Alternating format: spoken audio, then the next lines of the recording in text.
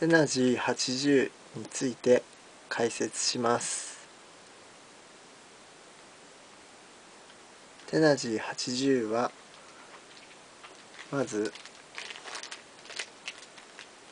回転が強いテナジー05よりスピードが出ます。回転は05の方が強いです。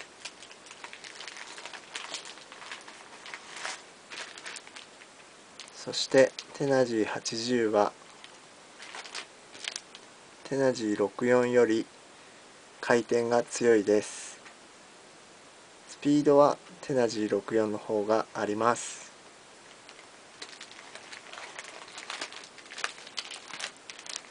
テナジー05と64の中間がテナジー80です。スピードをとにかく求めたいという方は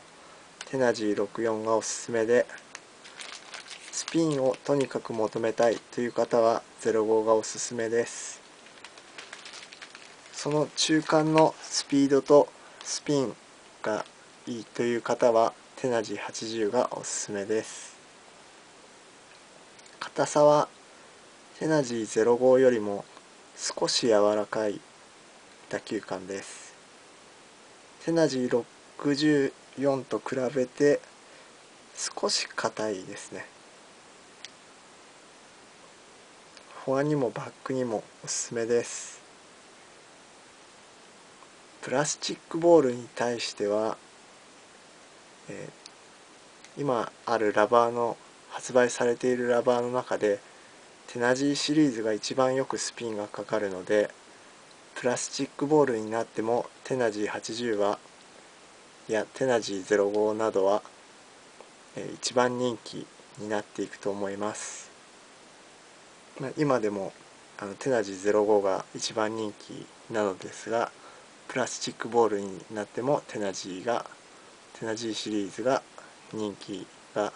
そのまま継続していくと思います。でテナジー80の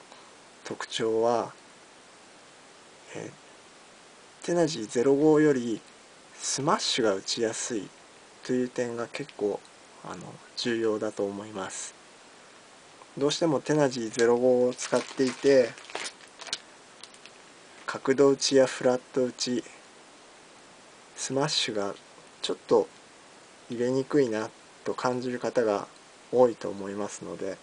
そのような方にテナジー80はおすすめです。でプラスチックボールになって